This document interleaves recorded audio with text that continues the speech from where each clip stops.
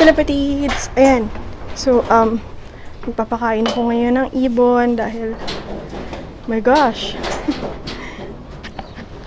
okay, so papakita ko lang sa inyo yung ano, ah, kung paano ako maglinis, no. So, um, medyo, ano, steady ko lang yung camera. Maglinis, magpapakain. Pero hindi ko ipapakita sa inyo yung whole scene dahil, ah, medyo mahirap gamitin tong camera. Mahirap bitbitin. At the same time, umuulan. Teka lang, saan sumunod?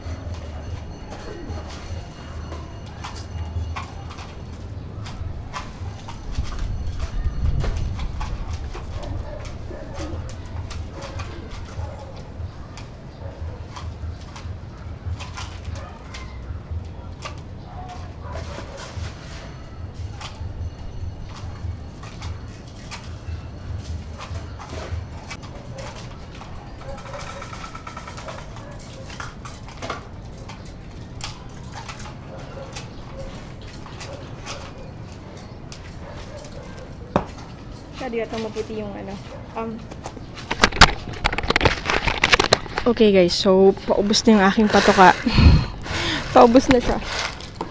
So wala na akong gagamitin para bukas ng umaga. So um, I think I need to buy bukas ng umaga mga alas 6, alas 7. Bibili ako ng patoka. Yung water naman nila yung isa-supply na. And gumagamit din pala ako ng electrolytes, yung powder. Okay, so ito yung ginagamit kong electrolytes, multivitamins electrolytes. Para sa kanila, hinahalo ko sa inumin.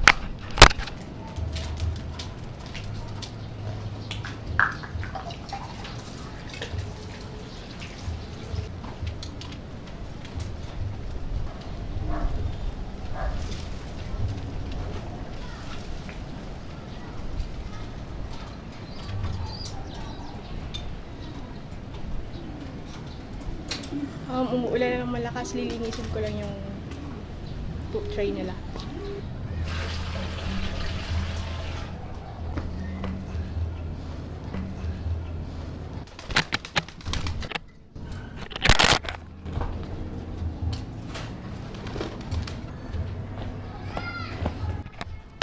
Nakalimutan yung isara yung bintana ni ni Brown nakatakas. Umuulan pa naman. Linis muna ako. Papasok rin yan. Magpapaan ako kasi sapatos ko madudumihan. Okay lang marumihan yung pa ako.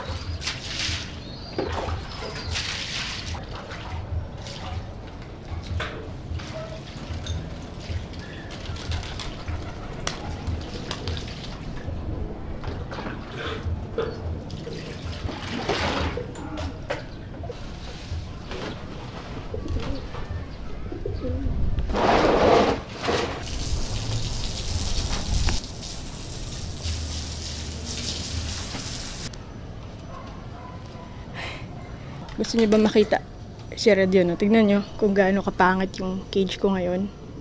Tignan niyo kung gaano kapangit yung cage ko ngayon. Yan yung cage na ginawa ko dati. Ayun yung nakaraang video ko. Ito, Ano yung cage na ginawa ko para dun sa sa mga unang ibon ko. So, ang nakatira dyan ngayon si Brown tsaka si, si Red. Tapos dito si Blight. Tapos dito yung breeders. Si Black, White, and Blue Pars. Yun nga, pakapakit ng ano ko ngayon. Kasi puro takip yun ngayon. Tela, um, tarpaulins, and pampabigat para lang hindi ili pa rin ng hangin. I don't care kung pangit yung itsura niyan ngayon. Basta ang importante safe sila sa ulan. And sa hangin and sa kung anumang bagyo. So, um, sige try ko. Papakita ko sa inyo ngayon si Blight. And yung iba pa. Sige. Wait lang. This is Blight. So, oh no, no, no, no. Relax lang ikaw. Blight to guys. Um, alright, relax. Relax lang. Ito naman eh. Um, matured na si matured na si Blight ngayon. Matured na siya ngayon. Hi Blight. Ano na yung boses niya? Um, matured na yung boses niya. Ma- malaki na yung boses niya. Hindi na siyap-siyap. Matured na si Blight. Hindi na, ano, siyap-siyap. Kundi, kro-kro na. Sige nga, kro-kro ka nga. Kro-kro nga ikaw. Tapos minsan tinutukaan na rin ako pag nilalapit yung kamay ko doon. Si Redo. Ah, tignan niyo yung ano ko, kung paano ko siya kinukuha. Dito kasi siya mas komportable, hindi siya pumapalag. Hi, Blight! Hi, Blight! Look ah. Hala, hala si Red! Hala, papasok na naman sa cage mo! Oh no, look! Tignan mo si Red. Papasok na naman sa cage mo, mga agaw na naman. Red!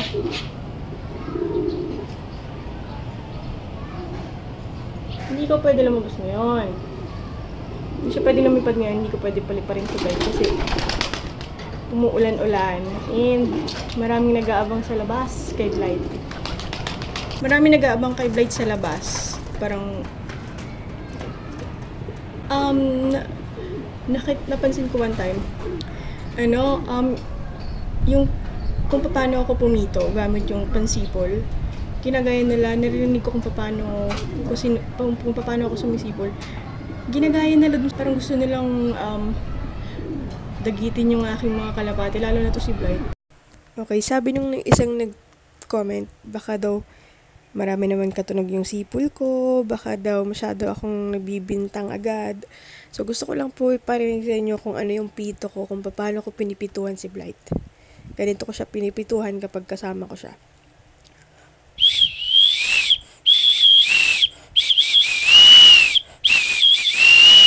Ganyan ko siya pinipituhan.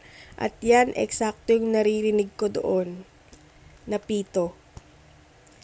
One time, nung nakita kong may pumipito ng ganon, tinignan ko ng maigi, tinignan ko siya doon sa kung saan man siya naroon. Nagkakatanawan lang kaming dalawa. Nung nakita niya nakatingin ako sa kanya, huminto siya sa sipol niya. Kasi nakita ko siya mismo, nag, nakita ko siya mismo, nakatingin sa akin sa taas, nakatingala siya. Five months akong nagkakalapate, wala namang, walang gumagamit sa kanila ni isa dito sa paligid ko walang ni isang gumagamit ng whistle dito sa area na to. Ako lang. Ngayon, gumagamit na sila ng whistle. I don't think na, ano ah, siguro nga, nagbibintang lang ako. Pero, yung ganitong klaseng sipol ko kay Blight, ginagaya ko kasi yung iyak ni Blight noon. Ginagaya ko kung paano siya umiyak.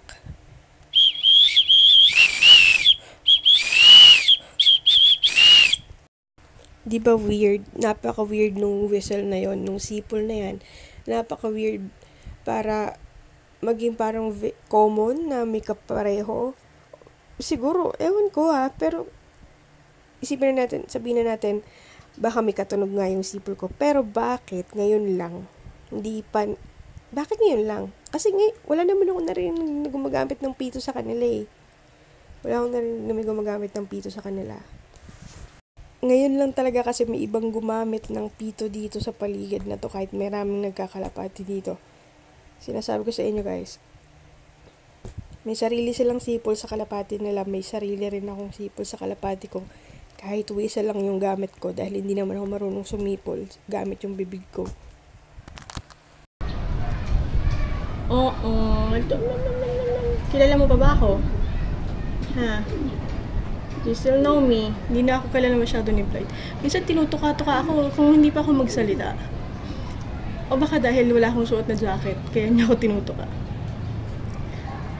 Ano, pag hindi ako nagsalita, hindi niya makikilala yung boses ko. Blighty! O ano? Ano? Hindi kita pakakaulan ngayon. Kunin ko muna yung iba. Ganito ako, ganito ko siya karga. Ganito siya komportable minsan. Pero pag ganito, napakadulas ng feathers ni Blight. Hindi ako komportable ganito ko siya kargahin. Parang ano, napakadulas niya eh. Napakadulas niya. Balik ko na si Blight. This is brown. Guys, medyo mab- bumabait-bait si Brown sa akin ngayon. Hindi ako masyado tinutuka. Dati nagtinutuka ako ng sobra nito eh. Hello, pretty brownie! Oo, oh, maya na. Hindi kita pwedeng pa... Hindi ko sila pwedeng paliparin na red pa rin kasi magme-mate na naman sila. Tinan mo oh. Hindi mapalagay.